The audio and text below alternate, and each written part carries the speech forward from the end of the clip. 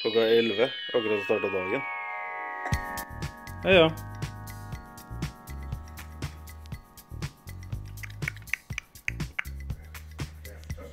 Dagens eneste gjøremål er å gå opp til barnehagen og hente bil og barn.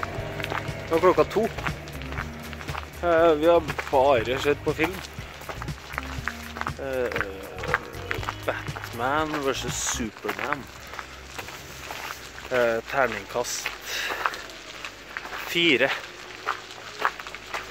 Det er raus og litt teit. Men eh, så fikk lyst på mer Batman, så vi så Batman Begins etterpå. Som, var, som er en bra film. Men da må vi bare snabba på opp i barnehagen her. Som det ser, høyblokka i bakgrunnen. Vi har ikke kommet langt. Kvart over to. Satser på å være ned igjen til klokka tre pluss hentetida. Halv fire. Mia kommer ikke hjem før fem, og det er bra, for det ser ut, ja. Det hadde gått an å bo oppa her, eh, Per.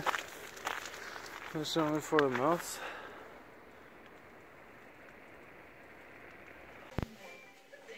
Artig å være hjemme, William.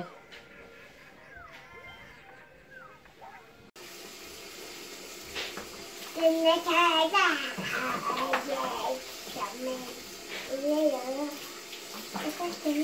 Hva heter den dinosauren der, da? Eh, Løgnhår? Nei, nei, nei, hva heter heter Bæsjebol. Bæsjebol.